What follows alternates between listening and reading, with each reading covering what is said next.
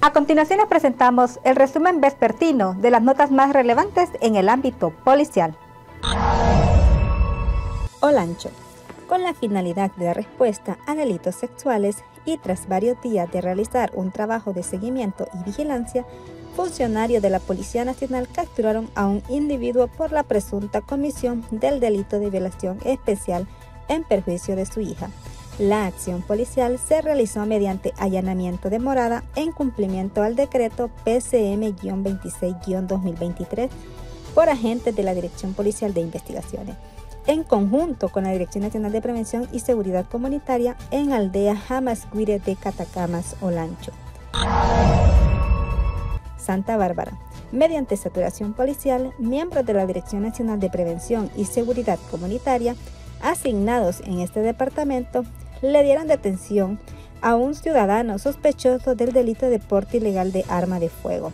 Los agentes policiales le dieron a conocer sus derechos como detenido y de lo que es sospechoso, de haber cometido el delito de porte ilegal de arma de fuego en perjuicio del orden público.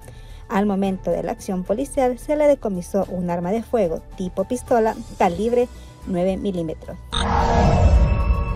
Trujillo la Policía Nacional, a través de la Unidad Metropolitana de Prevención número 19, reportó la captura de un ciudadano por suponerlo responsable del delito de maltrato familiar en perjuicio de su cónyuge.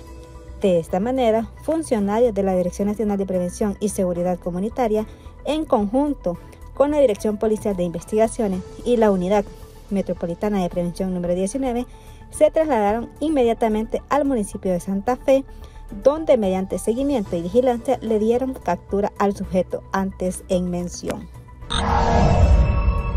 Este ha sido el resumen despertino de las noticias más relevantes en el ámbito policial. Desde la Dirección de Comunicaciones Estratégicas les informó la subinspectora auxiliar de policía, Sheila Orellana.